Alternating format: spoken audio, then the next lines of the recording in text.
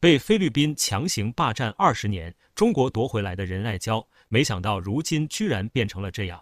本期视频就让我们来详细了解一下，欢迎观看本期节目。在观看之前，希望大家能够点击订阅，这样就不会错过每期的精彩节目了。一九九九年，菲律宾用一艘破船强行霸占了我国岛屿。如今这时候还回来了，对我国来说非常重要的仁爱礁却被菲律宾以搁浅的拙劣理由用一艘破船强弱。二十四年，面对我国日益强大的海军，菲律宾不仅不暂避锋芒，更是放下狠话，要与我方战斗到底，直至最后一人。我国可不会任着他的小性子自由活动，而是逐步掌握对仁爱礁的实际控制权，慢慢肢解菲方的不良企图。那究竟是何缘由，让我国无法一步到位？而仁爱礁又是怎样的一座礁岛，能让菲律宾恬不知耻的惦记多年不撒手？仁爱礁位于我国南海的南沙群岛东部海域，作为我国的固有领土，有着较高的战略地位与资源价值。一九九九年五月九日，菲律宾领着马德雷山号舰船，以搁浅为由，在中国领海仁爱礁非法坐滩。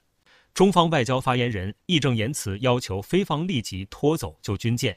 然而，就是这样一次看似平常琐碎的岛礁争端，让中国整整耗时了二十年才将其收回。菲律宾用拙劣的借口抢占仁爱礁，确实是蓄谋已久。仅从地理位置上看，就能知道它具有多重要的战略意义。仁爱礁南北长十五公里，东西宽约五点六公里，整体面积也只有二十一平方公里。约占我国海洋面积三分之二的南海，不仅是维护我国国家安全的重要天然屏障，还有着举足轻重的资源供给潜力。南海尤其连通太平洋、印度洋的的独特地缘位置，是周边国家关注的焦点，更是临近的陆源海洋国家抢夺的重心。在海水退潮时，仁爱礁的大部分礁体会露出海平面，北半环较完整，南半环断成数节，形成了很多的天然礁门。仁爱礁北面距离我国广东省大概一千三百公里，海南省大概一千一百公里，而距离西面的越南也只有七百五十公里，南面的马来西亚三百三十公里，距离最近的应该就是东面的菲律宾，仅仅只有二百三十公里。所以仁爱礁就是我国南沙的重要门户，位置极其重要。首先从军事角度说，第一，仁爱礁的内部有一个水深三十多米。面积三十二平方公里的天然内湖，完全可以满足三十吨级别的军舰和火轮的停泊。只要在现有的基础上稍微加以建设，就可以作为一个天然的海上军事基地使用，是一个地方位位置十分优越的天然军岛。第二，距离菲律宾的巴拉望岛也仅有二百三十公里。由于特殊的地理位置，如果在仁爱礁上建设，观察上菲律宾的一举一动将被我们尽收眼底。第三，仁爱礁距离我国两个实际控制的美济礁和永暑岛都是相当近的，完全可以作为美济礁和永暑岛的前沿纵深的东部前哨。从经济角度说，仁爱礁附近海域蕴藏有丰富的渔业资源和游戏资源。距离仁爱礁七十公里的里约滩，经过有关部门的探测，周边有高达五千五百亿立方米的天然气储量。如果难免有仁爱礁作为屏障，我国就可以无忧无虑搞天然气开发。赚点小钱钱了。再者，仁爱礁是我国二手南部南大门的重要支点，如果实际控制，不管往西还是向东，都可以相互支持。美济礁和永暑岛战略防务，正是由于仁爱礁先天的地理位置优势，菲律宾寄希望于这些非法侵占的岛礁来实现石油、天然气等能源的刺激，不惜赌上了下一代人民的和平。非政府甚至号召国民为资源而战。鼓励他们登上我国南沙群岛的部分岛礁定居。为了更加名正言顺一点，他们还将这些岛屿命名为卡拉岩，对外宣称这些都是菲律宾的领土。现如今马六甲困局尚未突破，如果直接动用军事手段，势必引起我国的经济震动，对外向型经济重振的东南沿海城市造成打击，资本逃离，民心不稳，进而影响我国的改革开放事业。所以，非必要时刻不可妄用武力。但是，我国可并非人人拿捏的软柿子。以仁爱礁事件为契机，正好为南海争端的有效解决提供了借鉴，并向世人展现我国保卫主权神圣不可侵犯的决心。仁爱礁事件在二零一三年就出现了是实质性转机，我国开始对其掌握了实际控制权。该年，我军在仁爱礁海域连通中国的网络信号，派出军舰利用海事直升机进行巡逻。后续几年里，菲律宾向仁爱礁偷送加固材料，处处遭到我军拦截，即使是船员，物资也会受到严密排查。我方在仁爱礁附近领域的活动大大增强，菲律宾也难以从中捞到任何好处。因此，我军对于爱礁已经拥有了绝对的控制权。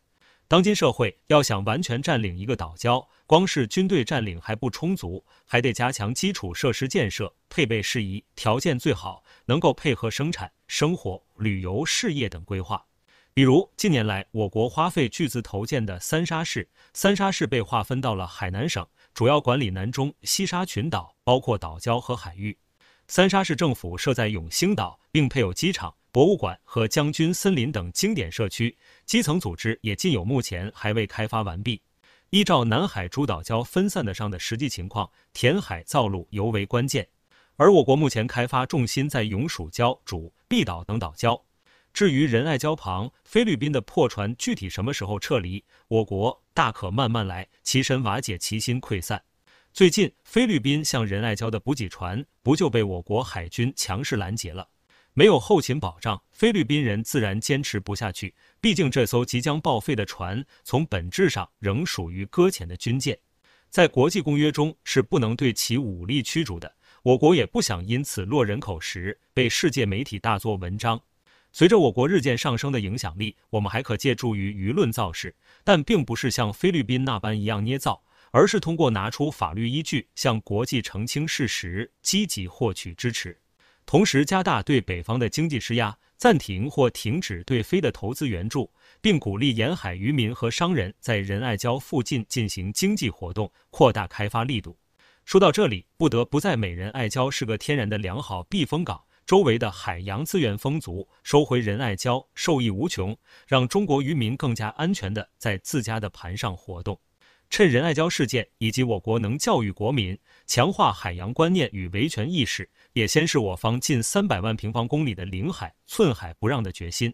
南海自古以来便是中国的固有领土，然而历史的曲折使得主权问题一直没有得到彻底解决。尤其是近代以来，中国的实力逐渐崭露头角，南海问题变得愈加复杂。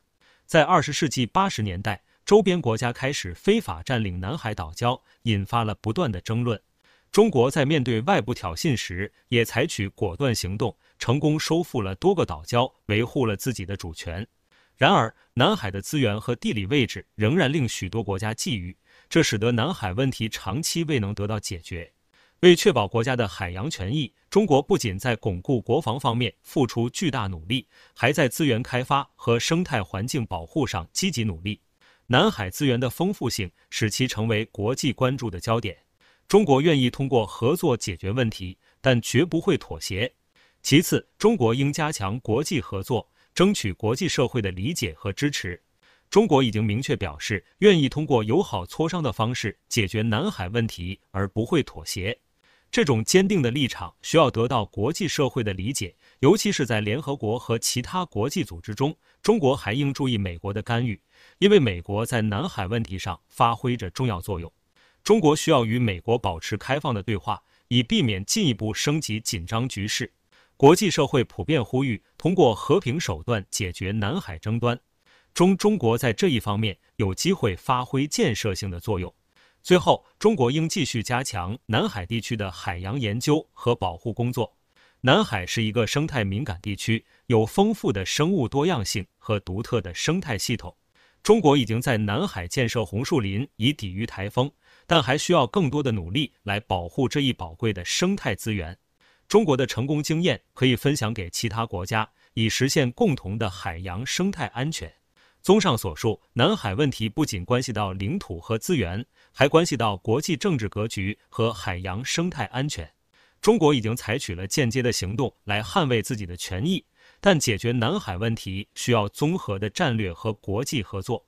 中国应坚定地捍卫领土主权，同时通过和平谈判和外交渠道解决争端，以维护南海的和平与合作，为未来的发展创造更多机会。南海问题是中国面临的重大挑战，但也是中国走向海洋强国的机遇。中国的成功将取决于其坚定的立场和细致的战略。本期视频到此结束，喜欢的可以点击订阅，我们下期再见。